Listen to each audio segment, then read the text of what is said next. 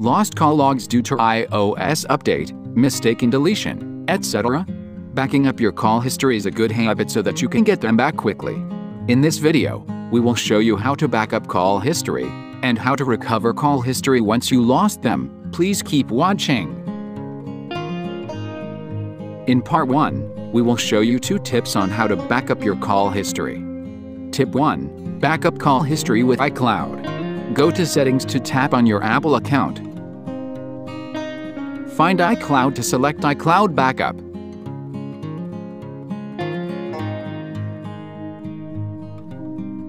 Then, turn on iCloud Backup and tap on Backup Now. Notes, please make sure you have enough iCloud storage. Tip 2. Backup call history with iTunes. Connect your iPhone to computer and run iTunes. Next, click the device icon on the top left corner. Find Backups option and click Backup now.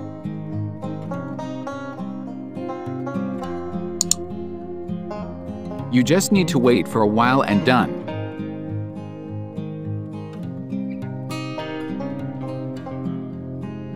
In part 2, we will show you how to recover deleted call history on iPhone, even you don't have backups.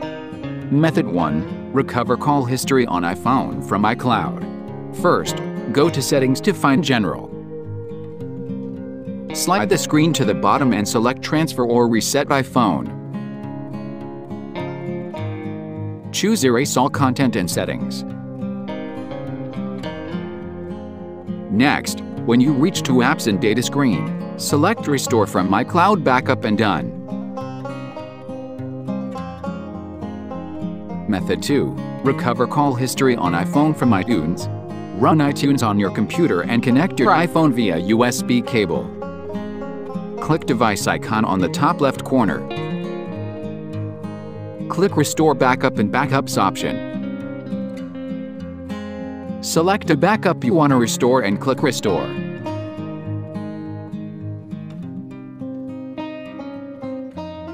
Attention please, iTunes only enables you to restore the whole backup to your iPhone and erase the existed data on iPhone. Method 3. Recover call history on iPhone without backup. Run iMobie PhoneRescue on your PC or Mac and connect your iPhone via USB cable. Select Recover from iOS device and click Next icon. Select Call History and click OK. Then, you can check your deleted call history here. Check all or selected items. You can choose to recover them to your iPhone or your computer at the bottom right. When recovery completed, let's check it.